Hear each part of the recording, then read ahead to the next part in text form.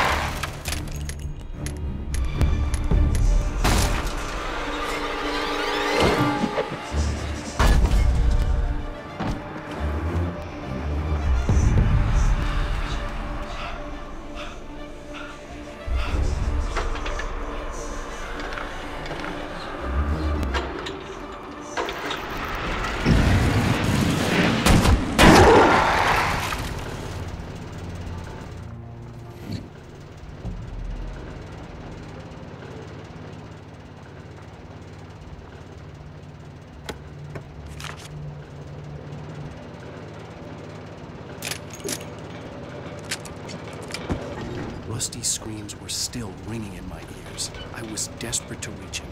Without the manuscript pages he had, I'd never find Alice.